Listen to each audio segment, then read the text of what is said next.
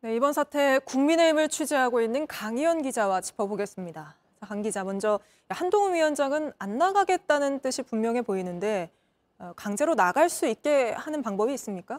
네, 우선 국민의힘 당원을 보면요. 어, 임기 등 비대위 운영과 관련된 내용은 있지만 비대위원장 사퇴와 관련된 내용은 없습니다. 네. 한 위원장을 윤리위에 제소해서 징계를 내리는 그런 무리한 방법이 아니고서는 강제로 그만두게 할 수 있는 방법은 없는 건데요.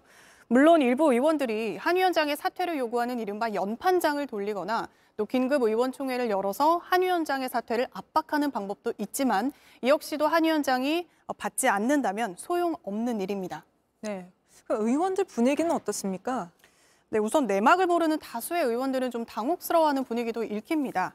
이 총선이 80일도 채 남지 않은 상황에서 지금 벌어지는 갈등이 어떤 결론을 맺느냐는 결국 어느 쪽이 주도권을 갖느냐로 이어지는데요. 즉 공천권과도 어, 직결이 되는 겁니다. 네. 일부 의원들과 저희가 통화를 해봤는데요. 어, 뭐가 맞는지 몰라서 숨죽이고 분위기를 보고 있다거나 주말에 갑자기 불거진 이슈여서 하루 이틀 당내 상황을 지켜보려고 한다라고 했습니다. 다만 이 총선을 앞두고 악재라는 이 위기감에는 공감하는 분위기입니다. 결국 공천권을 가진 비대위원장이냐 아니면 여기에 어, 영향력을 행사하려는 대통령실이냐 갈등이 어떻게 봉합되느냐에 따라서 의원들의 입장도 정리될 걸로 보입니다. 네, 그럼 뭐 대통령과 한동훈 비대위원장의 그 갈등이 봉합될 가능성은 있습니까? 네, 물론 양측이 방법을 찾을 수도 있습니다. 대통령실 관계자는 JTBC에 어쨌든 당정은 공동 운명체라면서 이 조속히 정상화되어서 선거를 잘 치러야 한다라고 했습니다. 어, 야권에서 대통령실의 이 당무 개입이라는 비판이 나오고 있는 가운데 갈등이 더 확산되는 건 사실 대통령 어, 대통령실로서도 부담스러울 수밖에 없기 때문으로 보이는데요.